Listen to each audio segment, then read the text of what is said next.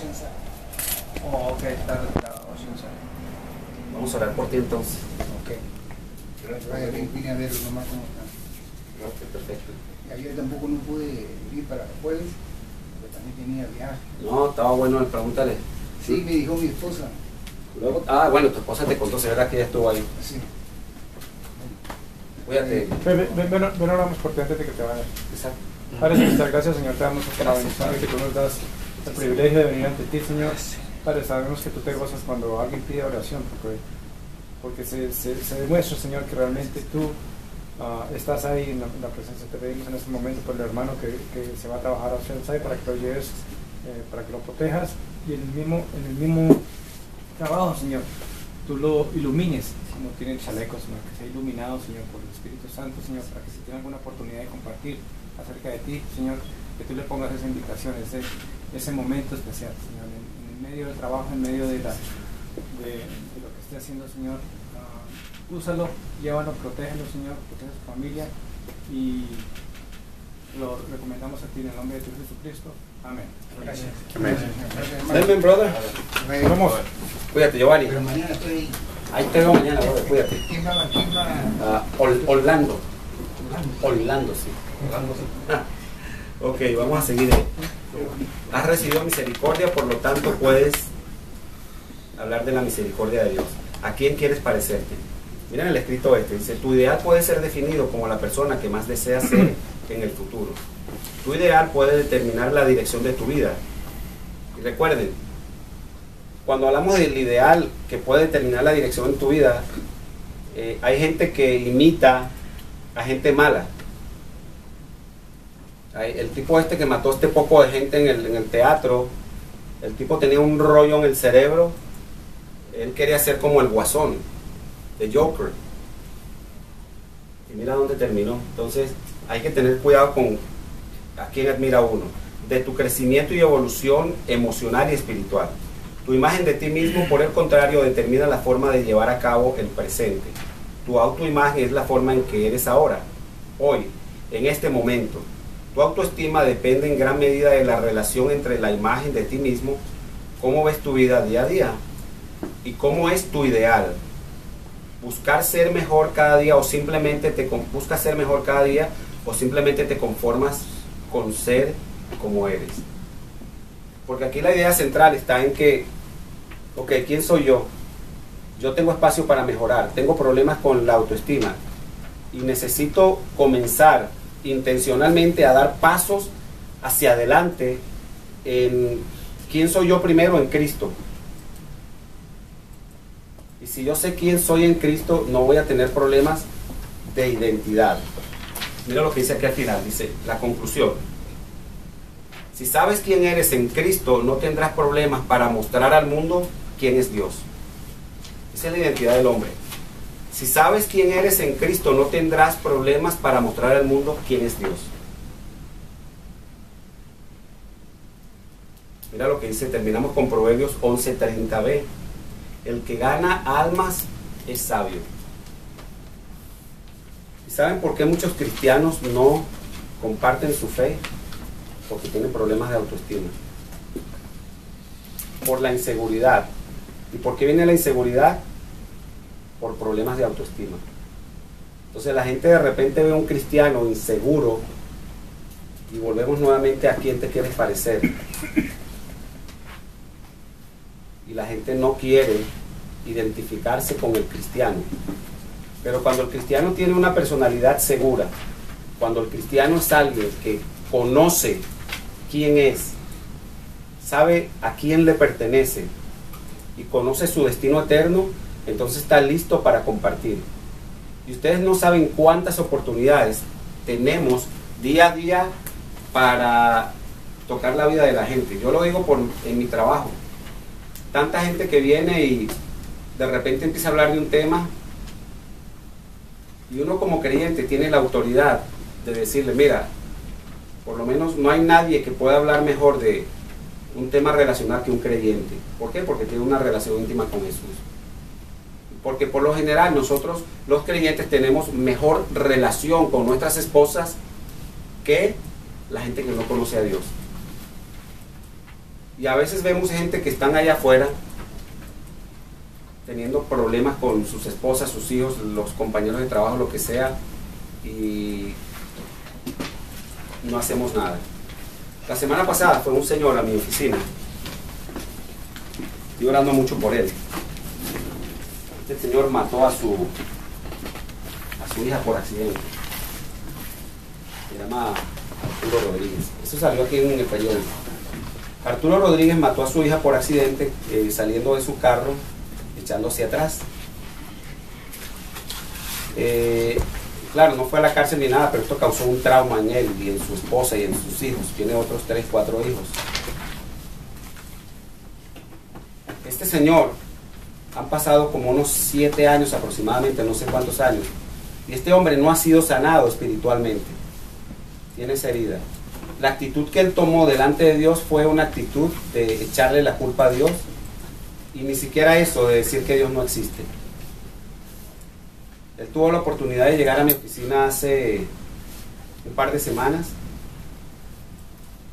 y uh, estaba, estaba Chepe con nosotros se conocen porque es amigo de él.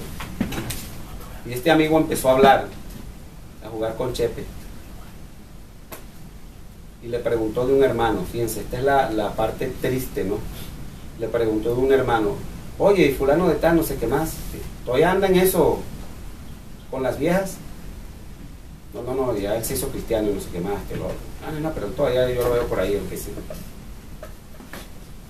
Y después le dice, que esa es la debilidad de uno del hombre, esa es la debilidad del hombre, ¿qué se puede hacer? No, pero es que eso se puede superar. Dice, ah, ni que fuera una gripa. Me senté frente a él y le dije, ¿sabes tú que eso es curable? Lo que pasa es que el hombre, volvemos nuevamente al tema de la autoestima, el hombre no tiene la autoestima bien ubicada. Y cuando el hombre no conoce de Dios, se puede portar como, como un animal. Y verdaderamente, hasta que no llega a conocer a Dios, no llega a entender su identidad como hombre. Así, así a poco no más decir. ¿Tú sabes por qué te digo esto? Porque yo era uno de esos. Yo era uno de esos. Antes de conocer a Jesús, esa era mi vida. Pero conocí a Jesús, entregué mi vida, mi vida comenzó a ser transformada por el Espíritu Santo. Este hombre empezó a oírme, a oírme, y a oírme. Ahí lo tuve como unos 15 minutos calladito. Grosero, vulgar, bien eh, mal hablado, pero lo tuve 15 minutos ahí sentado y me estaba oyendo. Porque el arma más poderosa que tú tienes como creyente se llama tu testimonio. Nadie puede refutar tu testimonio porque tú lo has vivido.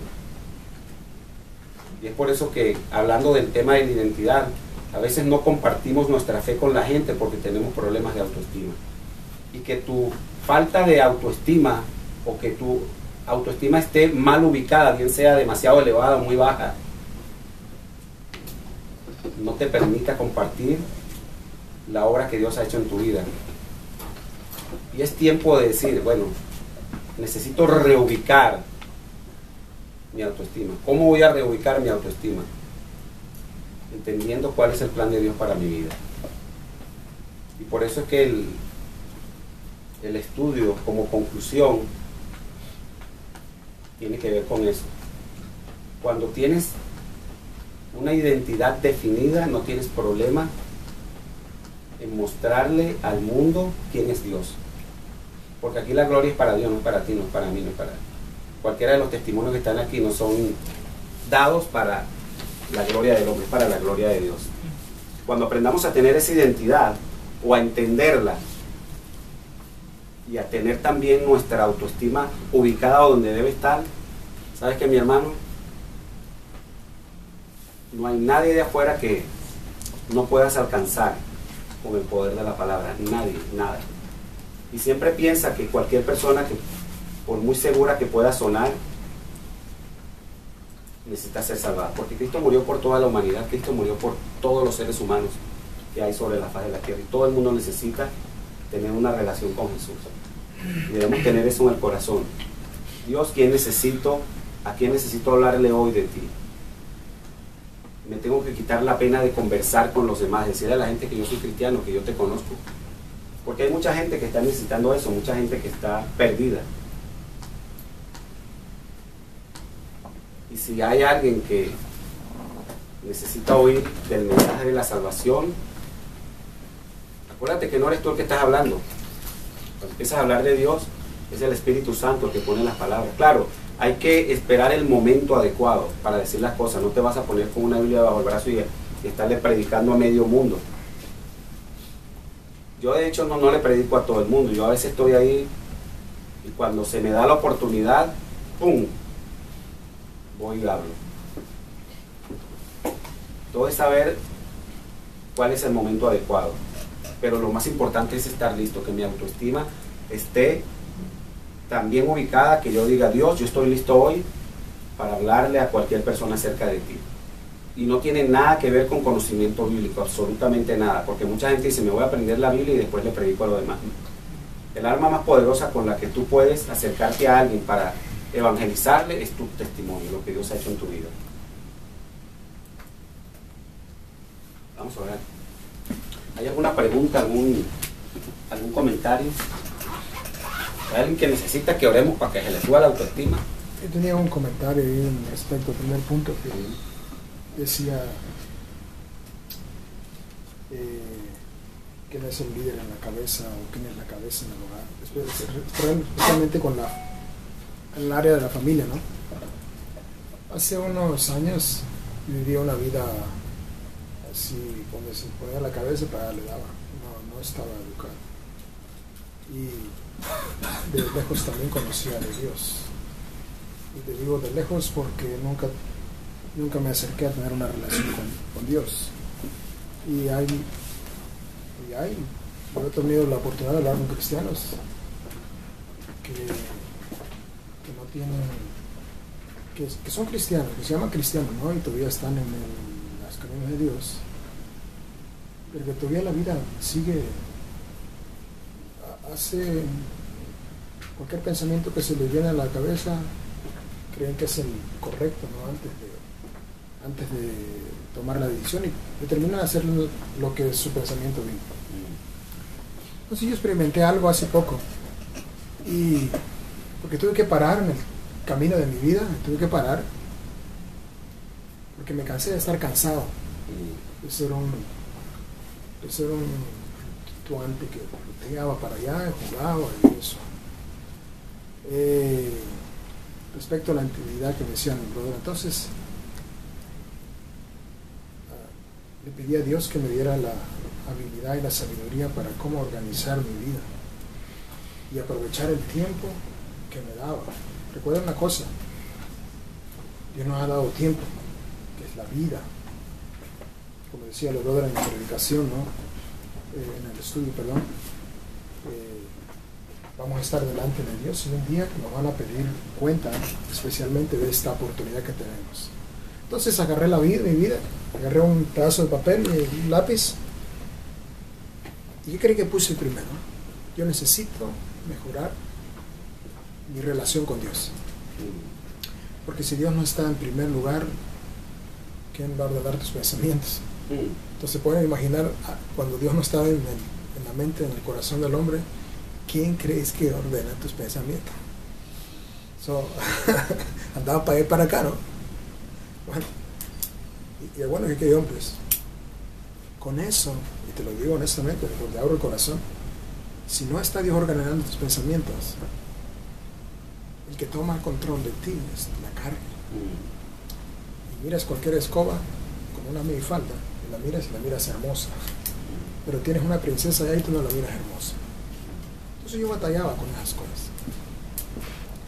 Y le dije, Señor, mejorar mi vida. Busqué busqué mi identidad en Dios y, res, y resulta que puse más abajo, puse más abajo mi relación con mi familia debe mejorar cuánto tiempo. Y no nomás escrito, el tiempo exacto que le tenía que dar mi relación con Dios, mi tiempo exacto que tenía que estar en, la búsqueda de la palabra, con números, ¿eh? y mi tiempo que tenía que estar con mi esposa. Y abrí un paréntesis grande como estas reuniones. Porque no, no, que no, no van a decir, bueno, vamos a ver como un robot, no, no, corriendo en el tiempo. De, no, no, no, no, tranquilo. Pongo un tiempo grande para disfrutarlo el tiempo y gozar la camaradería con ustedes y con las demás personas.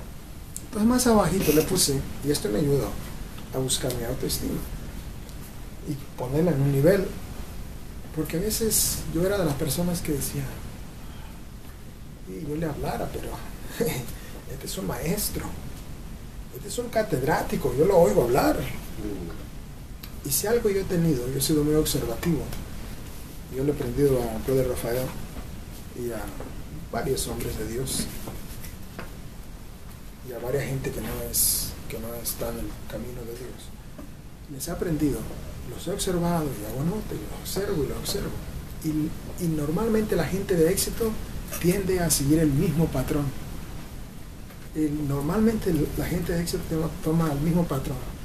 Y está tan sencillo. Bueno, y puse más abajo mi físico. ¿Cómo fue esto? Porque a mí me gustan las cosas a largo plazo. A mirar las cosas a largo plazo. Si nosotros no ponemos una relación con Dios y lo ponemos con números, hermano, más decimos, oh, yo voy a estudiar. Y ser flexible, ¿eh?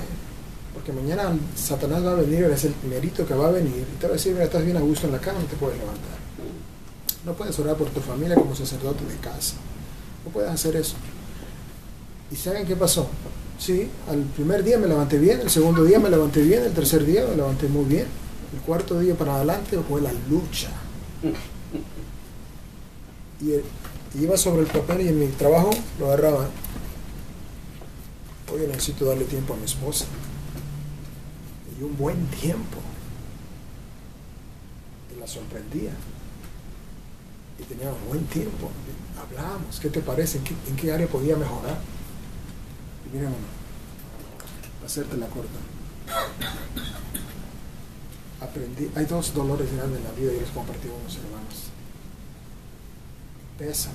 Son dos dolores grandes que usted los ha oído y los mira en las esquinas por ahí. Uno es el del arrepentimiento. Caray, el arrepentimiento pesa kilos. Perdón, la disciplina pesa kilos.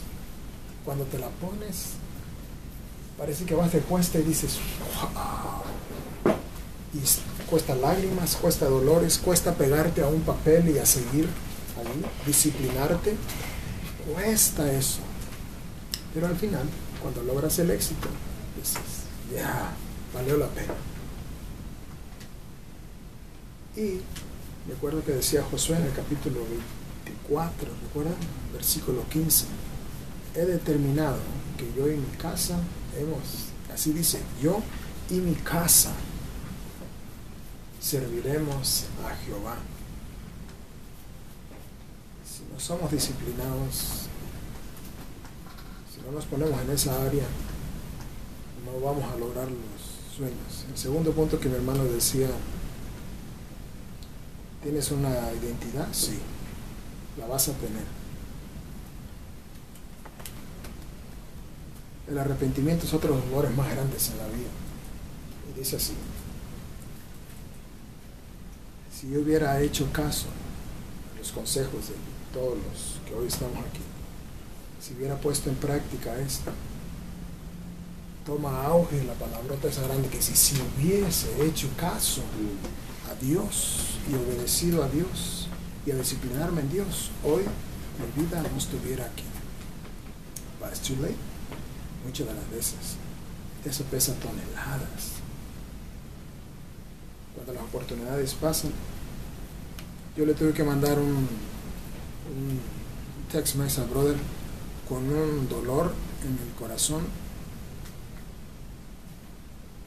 y, y, se lo mandé y le dije, brother, hoy no puedo, dame tiempo.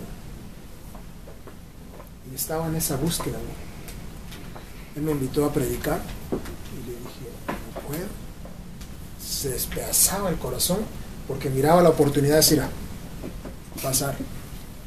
Y cuando tú miras una oportunidad pasar, dices, ¿se habrá otra? ¿Habrá otra? No, no, no hay otra. Probablemente. A veces la única. A veces es la única, hermano. Mi esposa es testiga y me dice, ¿por qué lloras? A veces no vas a comprender, le dije, pero más adelante lo comprenderás. Y le pedí perdón a Dios toda el alma. Días, hermano. Pero le dije, tú sabes por qué lo he hecho. Y cuando Dios sanó esa área que yo estaba batallando, le dije a Tamaruari. Y yo no vine y le dije al brother, brother, ah, ¿me das otra oportunidad? Tú le vas a decir al hermano. Y el hermano vino y me dijo, hago. Entonces ahí es, hermano, cuando encontramos esto. A mí me ayudó mucho este estudio. Mis deseos del corazón, se los digo, son compartir la palabra de Dios. Es el combustible que está dentro de mí, como dice el hermano en el segundo punto. Y he puesto las metas. Es como un comentario para... Las metas te ayudan, hermano, a no perder el tiempo. A estar enfocado en lo que quieres. A no distraerte de cualquier cosa que vas acá. Tú vas como al blanco. Ahorras tiempo y dolores de cabeza. Para eso te sirven las metas. Son como las raíces del árbol, a veces ¿ves? son profundas, así no las miras, pero sostienen el peso y esos son tus deseos y tus anhelos que están dentro de tu corazón que Dios ha puesto. Esa obra maestra que Dios ha hecho. No se ven, están como las raíces del árbol, ¿ah? Pero son las que sostendrán todo el peso y todo lo que puede hacer Dios en ti. Y yo te digo esto, hay un texto que está en Salmos capítulo 20 37, para ir por el versículo 7, dice, Dios concederá, y no hay límite, como decía mi hermano, Dios concederá todos los deseos de tu corazón, siempre y cuando a Él lo pongas en primer lugar. ¿Y cuándo va a parar eso? Como Él decía, no hay, ¿qué? Límite. Porque entre más vas, Dios te lleva de gloria en gloria, y miras la visión, y miras gente que necesita a Cristo, y miras otras personas que necesitan de esto. Y si Dios te hace rico, como decía hermano, no va a ser para que estés solamente ser rico y estés ahí puesto. Soy rico, no es para que bendigas y ayudes a alguien, sea espiritualmente, sea materialmente. Y eso vas a decir. Buenísimo estudio, me ayudó, hermano. Gracias, gracias, gracias por compartir. Una, Polito va a decir unas palabritas aquí.